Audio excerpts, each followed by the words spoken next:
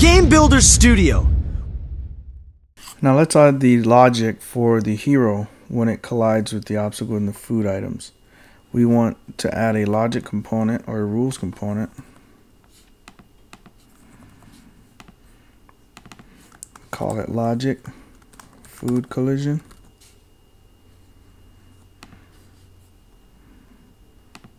And we want to listen for the collision event when it starts with the food item.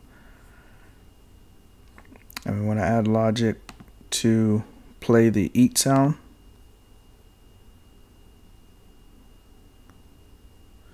And the reason why we're putting the play sound logic here is because we want to also check that the the hero is in its flying state.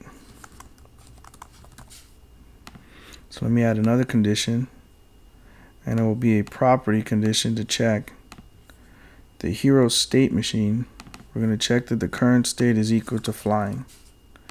And that's when we want to play that sound. Now also add a rules component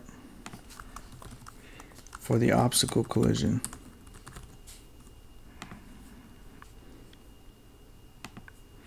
And we want to do the same here. We're going to listen for the collision event started with the obstacle this time. And we want to check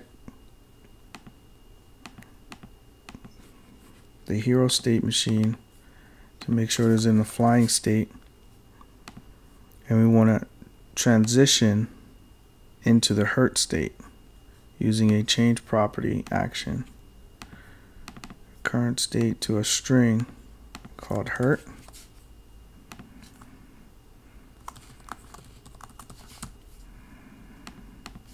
and we also want to play two sound effects we want to play the the hit sound and the hurt sound.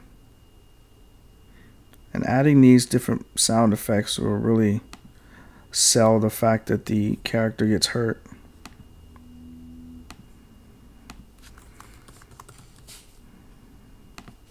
As well as uh, the shake effect that we'll add later on. We also need to decrement the lives property because every time the hero gets hurt it's going to lose a life. So it's we're going to go to the lives text object and go to the hero lives property. We're going to use an expression to decrease that value and remember we set up the state machines to transition to game over automatically once that property hits zero.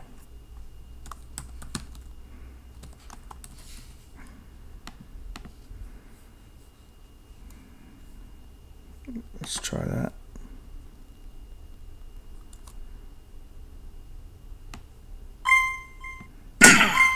There we go. Yeah, that sound effect really sells the impact of that hit.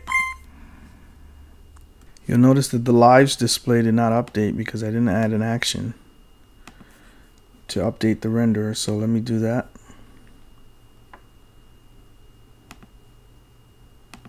I want to update the text property with a reference to the new hero lives property.